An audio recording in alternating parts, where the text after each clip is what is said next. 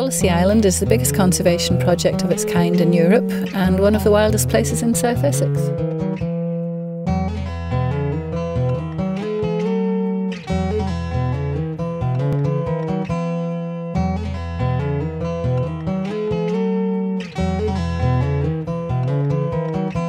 We've all kinds of wildlife butterflies, insects, and of course birds.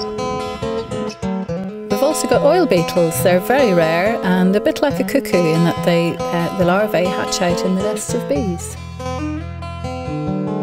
The RSPB are going to make this huge site a wonderful place for wildlife and people. We've already created a watervole habitat and this is a taste of the things to come.